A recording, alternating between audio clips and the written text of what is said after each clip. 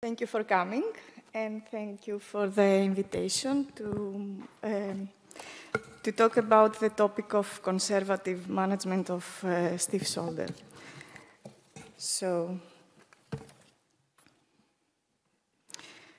frozen shoulder is currently considered to be a self-limited disease, but uh, however, most patients seek for medical treatment because uh, of uh, its long duration and uh, then discomforting um, symptoms. Physical therapists in our clinic have an advantage. They deal with patients after uh, they have met our doctors. Uh, so a clear diagnosis has been made. That implies that conservative treatment has been discussed and chosen. Uh, it's a pathology that affects uh, the um, ligaments and the capsule, and not the joint itself. Uh, but even if an underlying uh, uh, anatomical lesion coexists, we just have initially to lead with inflammation and the thickening of the shoulder capsule, which lead to pain and loss of function. What do patients want from us? Uh, they, uh, we have to educate them about their problem, about the pathophysiology, how exercise can help. They need uh, personalized and individualized care, and mainly they need our support and motivation during the treatment period. Uh, eventually, they uh, seek for pain relief and improved function.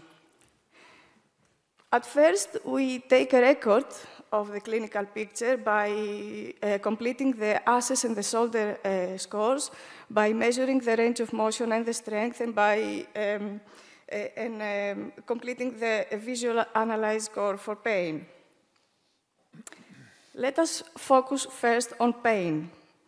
Pain is an output produced by our brain in response to what it perceives as danger. Um, feeling pain is not necessarily um, associated with heart, uh, with tissue damage, but if pain persists, uh, creates an upregulation in nociception. When pain experience is considered as a low threat, priority is given to life goals, uh, uh, to life goals, and a positive effect to recovery is observed. When pain experience is considered as a high threat, Pain control takes uh, priority, and the harm representation leads to pain-related fear and avoidance. So uh, a negative effect uh, supplies pain, and a phenomenon of vicious circle appears. It's our responsibility to educate the patients when, to, to recognize when they feel tension, either uh, soreness or pain. Moreover, uh, some environmental and personal factors can influence perceived pain intensity. Therefore, the ICF provides a description of situations regarding to human functioning and its restrictions and serves as a framework to organize this information. Modalities may be used to facilitate the rehabilitation process. We shall not forget to use heat therapy or massage techniques to relieve muscle spasms and tissue tenderness. Uh, fascial restrictions in one uh, region of a body uh, cause stress in other regions caused to, due to fascial continuity. So um, myofascial release, it is said to be effective to provide an optimal length and decrease pain. Restoring the function on a stiff shoulder uh, um, requires us to understand what stiffness, uh, what the, the term stiffness entails. Stiffness is a continuously adapting property of skeletal muscles, adjusting day to day to the experienced range of motion. So skeletal muscles properties are dynamic and affect, reflect the history of use over the, the past few days or weeks. Stretching is uh, an effective strategy for increasing range of motion and remodeling the, the collagen complex. And in our clinic is of utmost importance to clarify to the patients that stretching is a totally different process from strengthening. The goal of a strengthening uh, of a stretching exercise is to lengthen the, muscles, the muscle tissue to improve how far one can move a body part.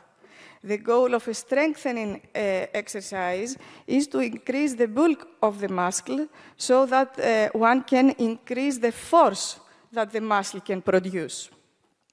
So for stretching, we usually hold for 30 seconds for the tissue to have the time to lengthen. And for strengthening, we usually do sets and reps in order to fatigue the muscles. So strengthening is a repeated muscle contraction until the muscle becomes tired, and stretching is slow, sustained lengthening of the muscle. There is also a time dependency in the range of motion gains, mainly related to the total time spent stretching per day or week, rather than the time spent stretching per session, uh, as the shoulder uh, becomes more stiff uh, again in the middle time between sessions. Moreover, uh, pushing the shoulder into uh, painful ranges may cause greater periarticular damage, while a low load prolonged stretch within each patient's tolerance level may result in safe, effective, and timely return to full uh, motion. So based on the above, we give patients four stretching tips. Stretch until you feel tension to your tolerance level. Hold for 30 seconds. Return to the initial position posture mildly and perform stretches every two or three stretches every two or three hours. Do we skip strengthening? Of course not. Uh, we skip shoulder strengthening and we focus on scapular um, uh, functional stabilization training. In any case, uh, we always keep in mind that um, the assessment of the scapulohumeral uh, rhythm and scapular kinematics provides a, a, therapeutic insight for functional recovery. Uh, on the other side, prolonged alterations as a compensatory mechanism cause further damage to the proprioception-related muscle mechanisms.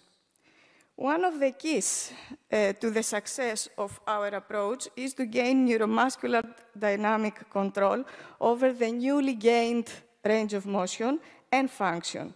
Therefore, patients are urged to follow a home exercising program, uh, preferably uh, combined with the use of a shoulder pacemaker, and uh, they're urged also to take up recreational activities such as swimming and, uh, or walking or yoga, because practicing activity leads to better performance of uh, these. Uh, a home visit uh, always provides information for environmental adjustments. And at the last stage of our rehabilitation, uh, after the range of motion has been gained, uh, we start to gradually uh, strengthen the rotator cuff muscles with assistive, active, and resistant exercises, and step by step, we advise patients to return to athletic activities. So summing up, the treatment of uh, stiff shoulder is lengthy and difficult. We shall not forget the person attached to the stiff shoulder, and motivating and guiding is our responsibility. So a take-home message for both patients and clinicians could actually be that it always seems impossible until it's done. Thank you.